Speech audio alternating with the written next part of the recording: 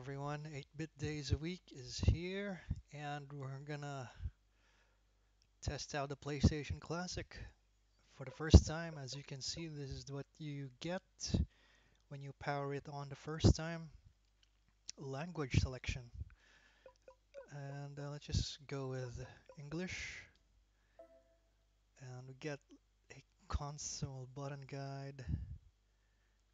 Ah, so it just describes the use of the buttons on the unit itself. And as we can see, the power is the one that turns on or off the unit and um, the reset button, much like the NES Classic or the SNES Classic, brings you back to the game selection screen. And the open button, well, since this thing doesn't accept even mini discs, um, the open button is apparently used to change, like for example in Metal Gear 1 and Final Fantasy 7, where it, the game spans multiple discs, you have to change them in between, uh, somewhere in the middle of the gameplay. Um, all right, well, hopefully we'll see that soon, and let's see how handy that is. So here it is. Uh, um, kind of plain looking actually. Um, there's no uh, like a background music at least. Uh, at least it's functional. We see the 20 games. Kind of reminds me of the interface of one of the hacks for the Wii. Uh, okay, settings. Health and safety, screensaver. Screensaver, I wonder what does it show. Uh, okay, just dims the screen. I can change the language again. Power save settings. Store default initial. Initialize console. Hmm. I wonder what's the difference between restoring default settings and initialize console. Anyway, I don't think that's important right now. See, guide, product website. Oh, you have to use like a QR scan, I guess. Console button guide. Okay, brings us back there. A memory card. This probably where you save the game since all all uh, I mean almost all of the PlayStation games used to save on a memory card. It doesn't have like a battery backup feature, of course, or a hard drive save option, like unlike uh, say uh, Sega Saturn or any of the contemporary consoles. Um, okay, nope, there's not even a sort. Okay, so everything's just lined up the way it is already. Resume point, I guess it's uh, like a save state commonly found in emulators. Uh, alright, so immediately you'll notice there is no like options for graphics like um, I mean you can't set it to 16 by 9 or how about some scan lines none of those stuff so this is where all the criticism comes from. It's all pretty bare bones pretty plain looking. And um, I'm gonna go ahead and play at least one of the games that I'm very very very familiar with. I've played this a lot during its initial release. This is Tekken 3 and look at that. It's the boot screen when the game boots up on the old console um okay this is kind of exciting. But if you've been uh, around uh, like the gaming websites and all, I'm sure you have heard of the the controversy actually. As I previously mentioned in the video, uh, previous video, um, there is some issues with the emulation here, and that it's actually using an emulator Sony themselves once tried to shut down. At least it's a variation of that emulator. And that's just one of the issues there. The other issue is that, well, I'll try to experience it for myself. Actually, I'm starting to feel it right now. And that is, as you saw the boot screen earlier, it said Sony Europe, which leads us to this. It's actually, I mean, some games were notably running in PAL versions, which means lower uh, lower frame rates. And right now, yep, I'm feeling it so bad. If you're very used to the normal speed, aka the NTSC versions, Japan or America's version, yeah, you'll be surprised how round two fight. It plays like a poorly optimized emulator. And that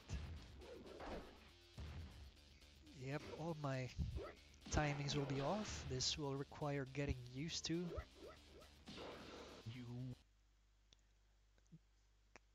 Uh, one. Alright, that certainly takes away from games like uh, Tekken though, because this game is really fast-paced and has precise inputs and timings and all. Nevertheless, it's Tekken, and it's still one of my favorite fighting game series.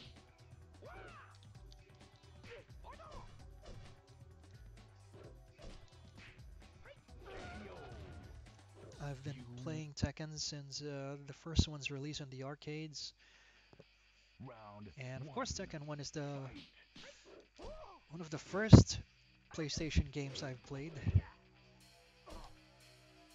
Tekken 3 is the best, of course, in the PlayStation 1 era. But yeah, this is. Um, Alright, this is from my view, view, and it doesn't really You win. Uh, no, uh, what I'm trying to say is that no amounts of uh, love that you have for Tekken can save it from this this port from having its sluggish uh, performance. But anyway, um, let's try the other games. I'm gonna press the reset button now. And let's see what happens. Alright, you got a resume point there. I will use it. And it brings me back to the game. I'm gonna press it again. Um, Now Tekken is one of the noted PAL games here. Let's go for something that's on NTSC. Another favorite of mine, Metal Gear. It reminds you that there is um, a change disc at one point of the game. And see, it's you see here it says uh, Sony of uh, America. So we're expecting NTSC or 60 hertz for this one, unlike the earlier one.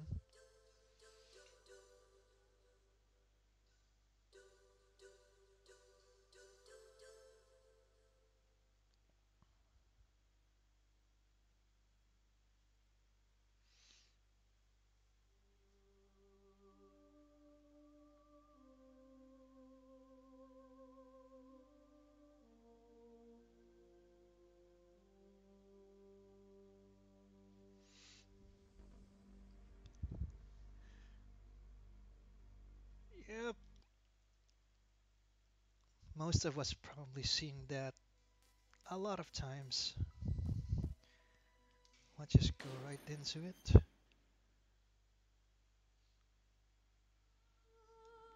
Hmm.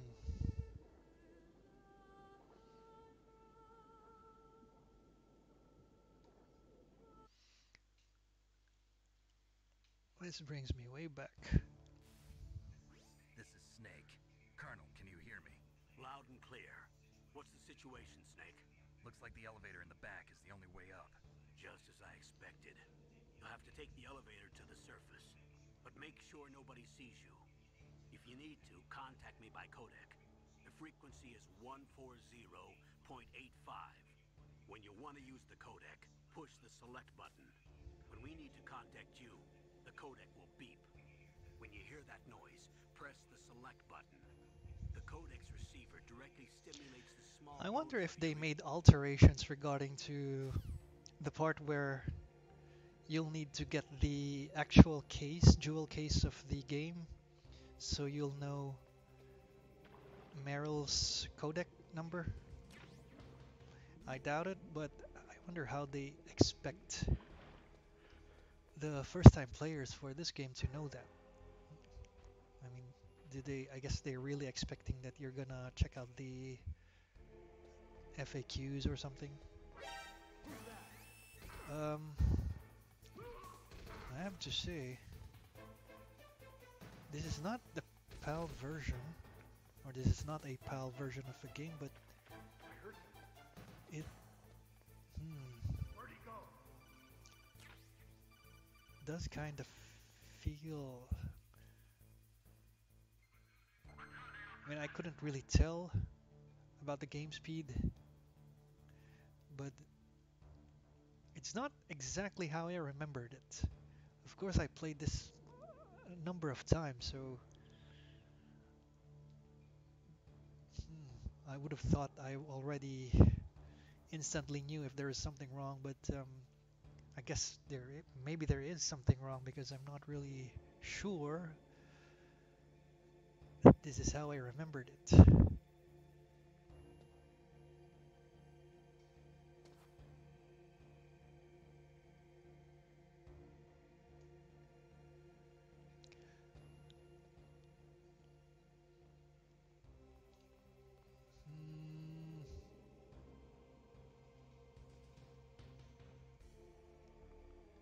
Anyway, this is still Metal Gear. It's still one of the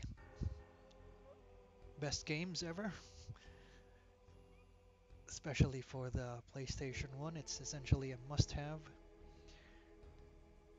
Which led to some other criticism and disappointment is that some of the games here is not what represents PlayStation, I guess. Um, everyone notes that it's missing a Tomb Raider or another staple, Symphony of the Night. But hopefully, just like the SNES Classic, this thing might get modified. I'm not actually following the scene of uh, modding PlayStation Classic if it exists. Probably does. I don't know yet.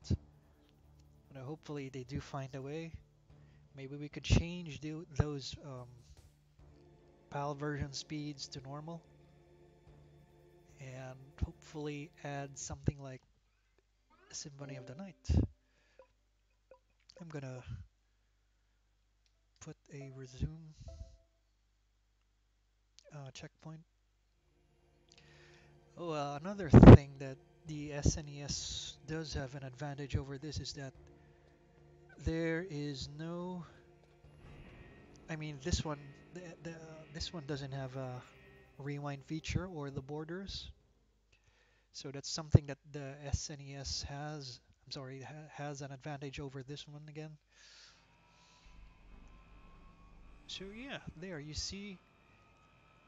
Mm, there does looks look looks some sort of performance issue going on here. It's not as smooth as we all remember it to be. Um, maybe I'm remembering it wrong, but I'm positive that uh, I'm recalling it right because, as I mentioned, I've played this too many times. It's just um,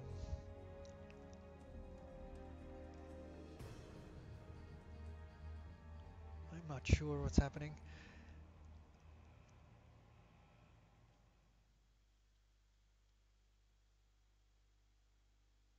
Okay, you know what? Uh, let's yeah, let's make a new one. Let's try another game. Um, I will try this one. This is a racing game that I also enjoyed very much. And what's surprising is that they didn't include Gran Turismo. That's uh, it really makes you wonder what was their thought process on game selection there.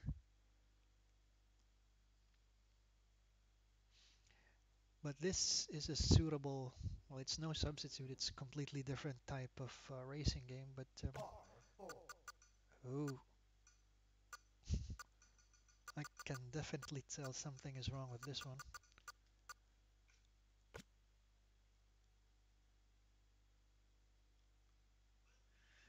Maybe I, I, initially I'm thinking maybe because it's being upscaled or something, but no, it it, it feels like uh, it's running. Um, it's like missing frames or something.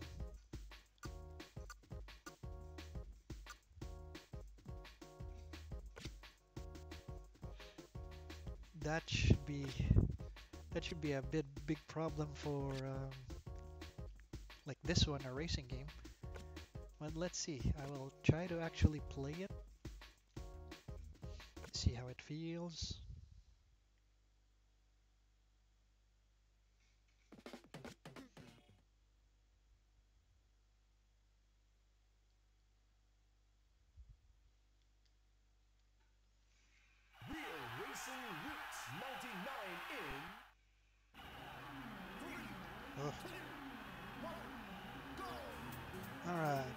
My issues right now is that there there is an obvious obvious blurriness. You know, something like you'd find in the N64 when um, it's being upscaled.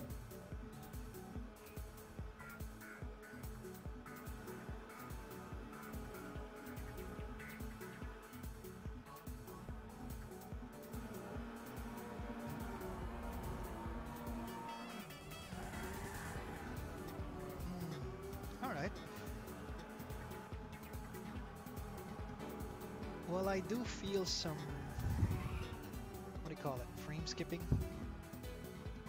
At least it feels, I mean, it, it still controls well. I, as I mentioned, it controls well. I skid a lot there.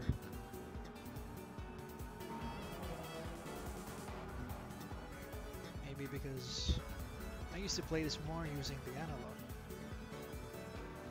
Or I'm just making an excuse there.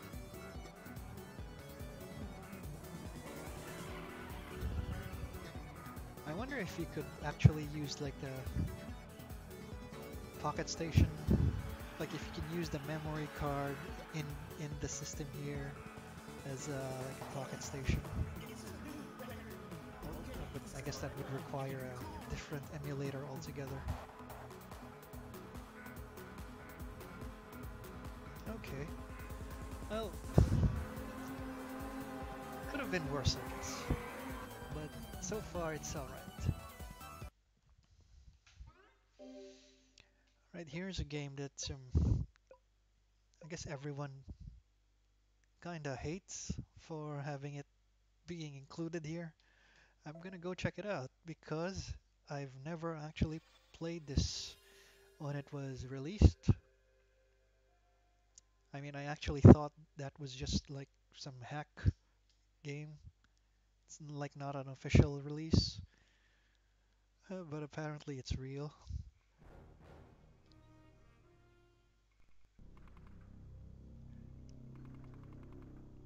So people are hating on this because it's a first-person shooter on a console, and it doesn't even have analog. And um, you know,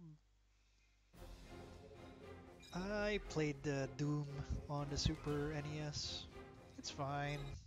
We can all get used to it. But I have to feel for myself. How does it play? And keep in mind, I have no idea how to play this game. I'm assuming it's just a run and gun with, uh, well, since it's uh, Rainbow Six, there's probably some. Oh boy, that is dark. Um, yeah, I couldn't see. I guess I need to turn on the lights or something. Is there a flashlight here? That's incredibly dark. I don't know if it's because of the emulation or it's really by design.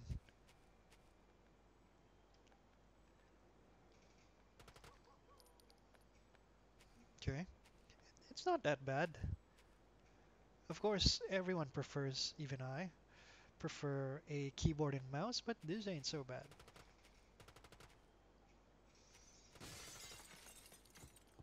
Alright. Um, crouch, how do you look down again? Oh, there. And, okay. How do I, can I go there? Oh, there. Right. Oh, there. I'm alive again. Open. Open. How do you open doors here?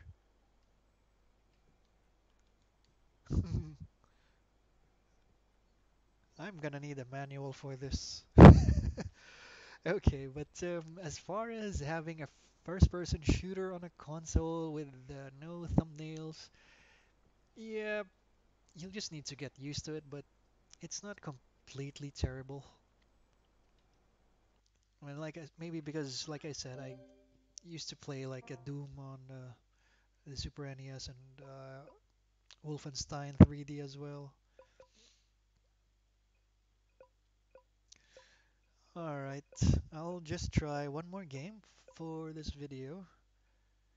And here's a game I know um, everybody loves. No, actually,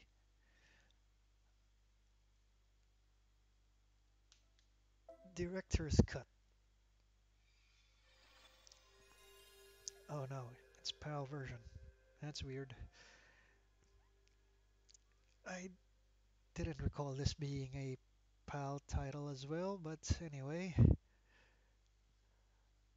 I remember this game, the Director's Cut, got released actually twice because the first one, despite being called the Director's Cut, it actually still had censors. So I wonder which version are we going to get.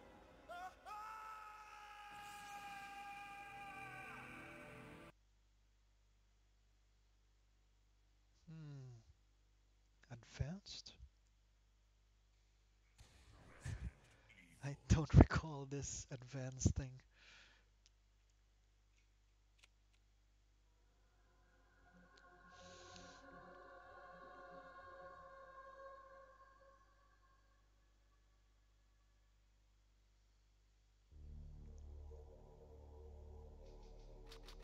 Nineteen ninety eight, eh?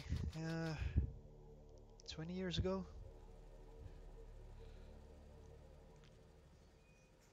Alpha. It's been really been that long, eh?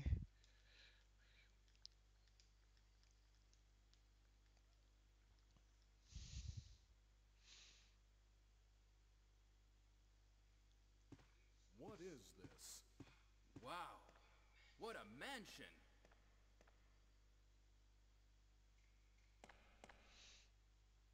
All the all their Lester, appearances are really jagged and blurry. Stop it. Don't open that door. Chris's. What is it? Maybe it's Chris. Now, Jill, can you go? I'm going with you. Chris is our old partner, you know. Okay, let me handle this.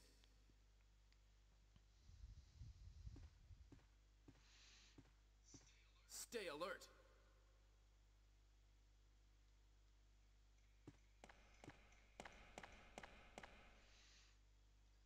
Okay. Well, despite being a PAL version, it doesn't feel it doesn't feel that much slower from the NTSC version, actually. Wait, let me try to get control of it first. Yeah, it's fine. What? What is I haven't played it in the longest time, so probably that's it? why Blood. I'm thinking, yeah, it's fine. Prob it is slower, but it's something other clues. I'll be that you'll get used to. Hope this is not Chris's blood.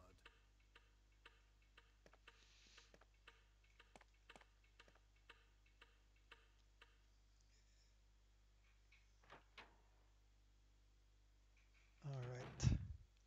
What do we see here? The first cutscene that had censors, I guess. Alright, let's see what we get. Ah, see? It's not it's not the uncensored one. I do believe that the uncensored one should f uh, feature uh, the guy's head rolling on the floor. I forgot his name. But yeah, I guess that's the mark there that this is the censored director's cut version. What is it? Watch out! It's a monster! Let me take care of this.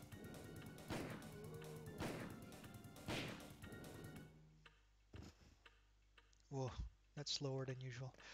Yeah, I, I- I guess I'm just just starting to What keep on is it? comparing the speeds.